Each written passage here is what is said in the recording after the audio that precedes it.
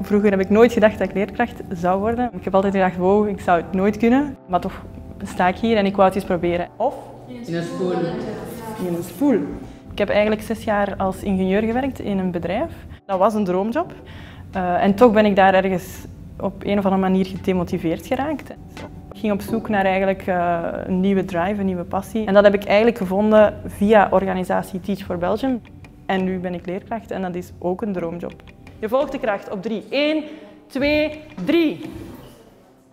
Heel veel mensen die begrijpen eigenlijk totaal niet waarom je als ingenieur een goede job had en dan toch in het onderwijs wil gaan stappen. Ehm, en dat vind ik verschrikkelijk. Je moet, je moet je vak kennen, je moet mensen kunnen motiveren. In de industrie noemt dat people management, hier noemt dat gewoon leerkracht. Die keuze voor het onderwijs is eigenlijk een keuze tegen wat andere mensen van u verwachten. Soms heb ik het daar wel moeilijk mee.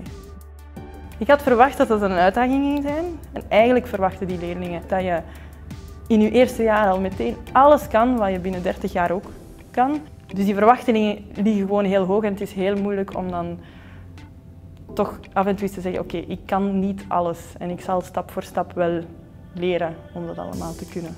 En ik denk dat je als leerkracht, ja, je groeit gewoon terwijl je les geeft. En nu merk ik, je moet gewoon elke les, als je ze wil doen luisteren, iets creatief verzinnen. En eigenlijk merk ik dat dat echt wel iets waar ik in opleef. Succes met jullie examens. Ja.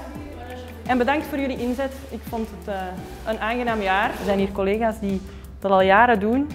Ik vind het ongelooflijk inspirerend dat die dat met hetzelfde enthousiasme blijven doen. Um, dus dan denk ik, ja, dan voor mij ook.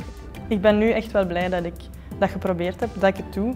Uh, ik ben daar eigenlijk ook echt trots op nu. Dat ik kan zeggen, ik ben leerkracht.